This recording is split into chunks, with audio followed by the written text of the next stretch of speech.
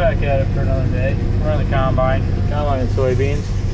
Um, I didn't really record what's going on today. I left off that there was breakdowns and everything else, so it's one of those days where it was windy, cold. We fixed the breakdowns. What it was was a fan, speed adjustment rod that holds the bottom of the thing down. I'll get out and show you sometime. It might not be in this video, but sometime I'll show you. That broke. It just snapped right off right at where the lock nuts are on it. We thought it was really weird. It had already been fixed once, so by the looks of it, it might be a common issue on this thing, but um, what we did to fix it was took it from 3 eighths, drilled it out to half inch and put a big half inch bolt through it and welded that onto the rod. So that fixed that issue. Uh, the other issue we were having was a flex head on this. It wasn't allowing it to go down. What we did was change the, over here there's a switch box on the end of the head. And we changed that from the,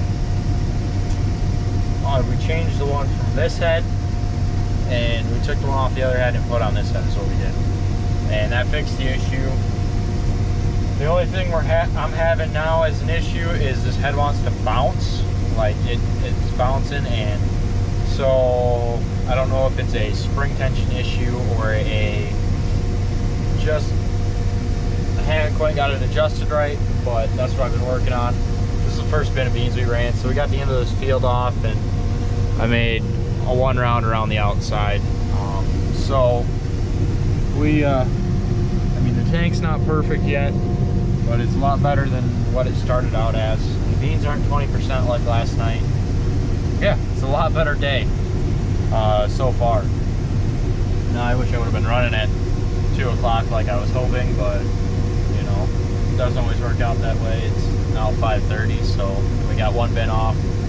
But beans look good in this field. They're running a lot better than I thought they were going to. They've probably seen 60-ish bushels at this end, maybe 40-ish at the other end, depending on where we're at in the sand.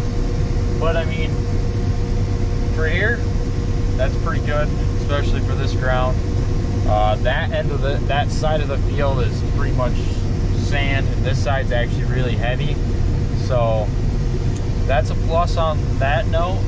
Uh, I'm gonna start off on this side, hopefully get a truck shortly. Um, so yeah, right now I'm just unloading and we're gonna get started here in a minute.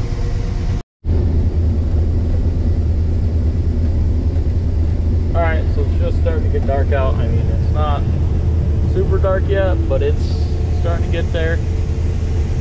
Um, just starting to make headway on the field. I am having an issue with our auger slipping.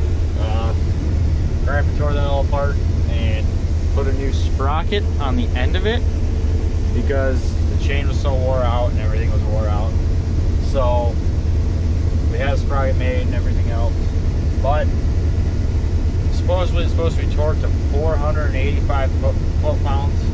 Well, the bolts aren't, but like they're supposed to be 485 foot pounds before it slips. And we don't have a way of measuring that, so we're just kind of guesstimating and I don't have the tools with me to adjust it, but when I get into the better beans, it's slipping and of frustrating, but there's not much we can do about it, so we're just gonna keep running, try to get this truck full, deal with it in the morning. Uh, that's pretty much how we're rolling tonight. Um, we got a few small things like the head. Like I said, it's still bouncing. Um, I got some parts laying here on the floor. You can't see those, but uh, I thought I had fixed the stuff on the end, but must be the way this head bounces because of the way, it's, well, I guess because of the way it's bouncing. It's just making everything loose. And that's why everything was apart the way it was. So, yeah, we're dealing, I'm dealing with that. But other than that, I'm pretty happy with how this thing's running. Uh, it's doing a really good job cutting close to the ground, getting all the beans. That's a plus. That's a big plus in my book. Um, now, I don't know if it's just the fact that these beans are, there's still a lot of green stems out here, honestly, um, for, I don't know, say the 30th, 29th, maybe the 29th of October. so I'm pretty, I'm really surprised on how uh, green these beans are. Usually we're very close to done running soybeans at this time, and everyone in the area is just getting started, so it's not a, it's not a thing of, oh, we're just behind. It's the fact that that's the beans are just now ready to go, so. Yeah, anyways, we're cutting beans now. Uh, yeah, they just feed into the head hard. Uh, they ball up on the edge of the knife.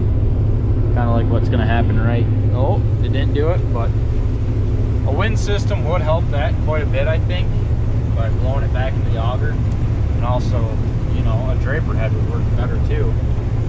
But uh, we got to have better beans, more acres to justify that stuff. All right, so just finishing up here. Truck's got one more dump to put on it. Everything's running good. Uh, we just run out of room in the truck. Yeah, I know there's lots of room you can see in the truck, but it just uh, doesn't quite uh, scale out right. I'm gonna say when you uh, if you were to get pulled over, if you filled her full. So yeah, we try to avoid running loads full loads across the, or over to the mill just because of uh, tickets. I don't want to give up a free load, you know, or not get paid for a load. As I say that because it's like